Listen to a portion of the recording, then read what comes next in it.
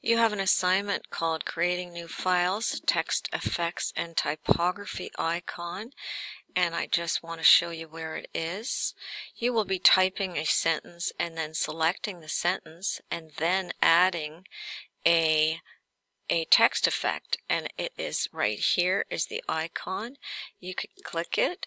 The first one you need to do is blue accent color one shadow what you need to do is just look for the blue ones and then hover on them and wait until you see the description. So there it is right there.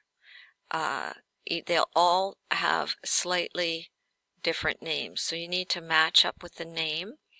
And when you click it, that sentence will now have that text effect on it. So there's a little shadow there and it's colored blue. Okay, now if we select the next uh, so in your next file, you will have something else. When you come to this, these are called presets. Okay, they're just all done for you. But so some of the time you're finding a preset, but some of the time you are going to actually come here and it'll tell you a shadow offset left.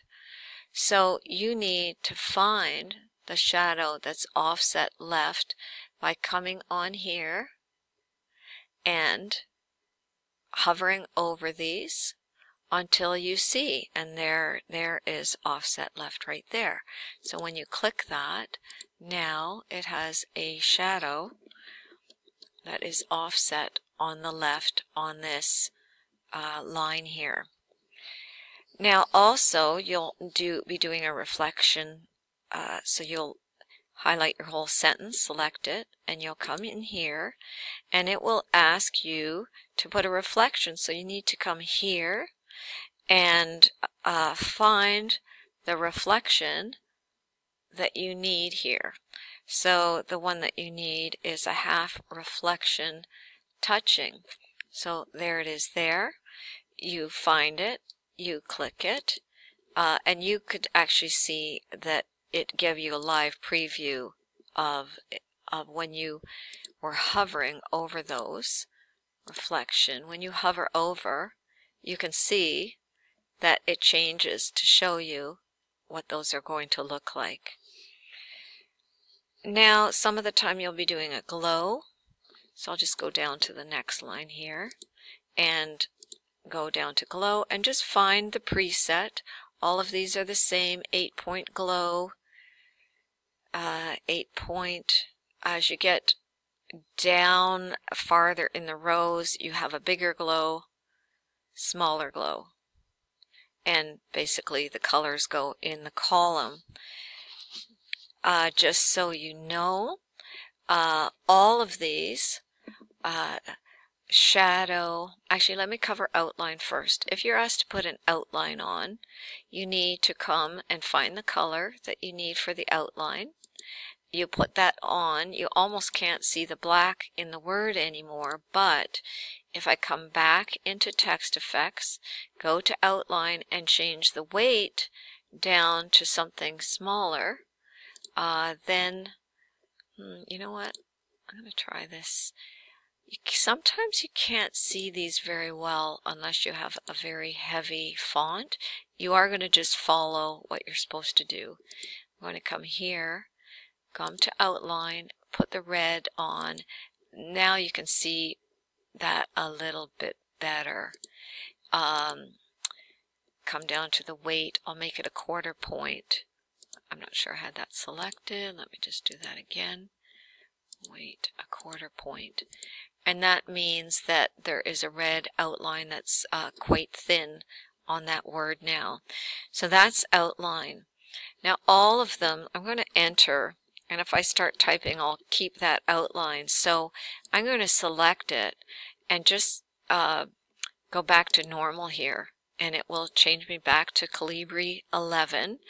I'm going to select it and come in here and show you that the shadow options at the bottom, you have those three uh, etc. marks.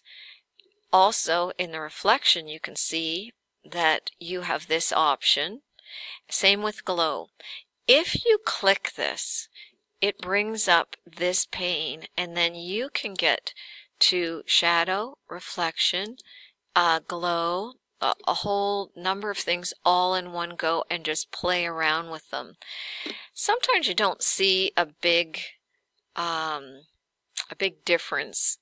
You just have to play around. So if you put a preset on, you can see it added 40% transparency with the size. I can increase this size by moving this slider and it will change uh, you can see I'm changing the distance. Look over on the document. When I slide this, the shadow is going farther and farther away.